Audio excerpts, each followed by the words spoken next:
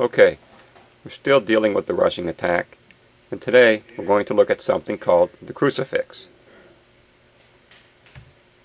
This technique can be used when your opponent attempts a single or double leg takedown.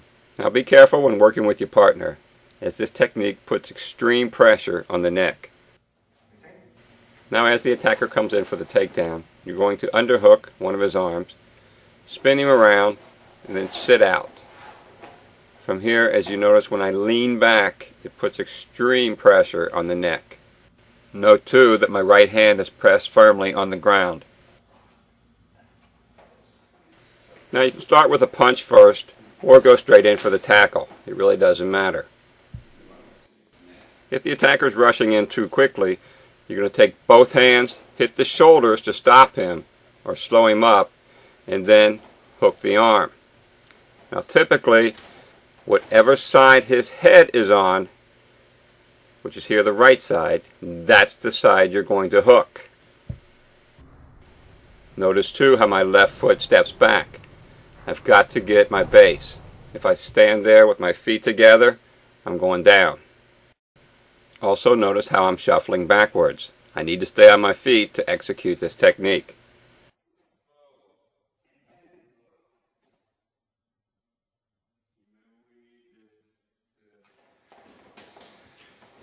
When working with your partner, be careful when executing this turn. You want to make sure you don't put too much pressure on the neck as you're taking him down.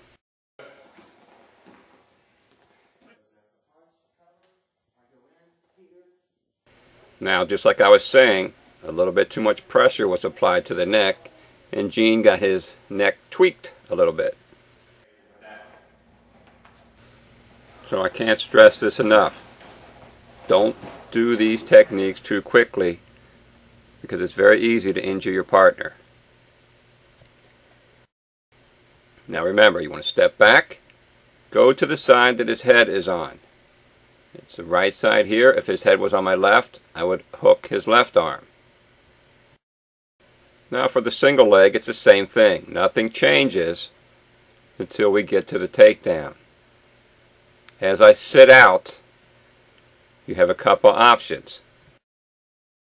You can simply pull the right foot in and clamp your left leg down, or you can hook it with your right foot as I'm doing here.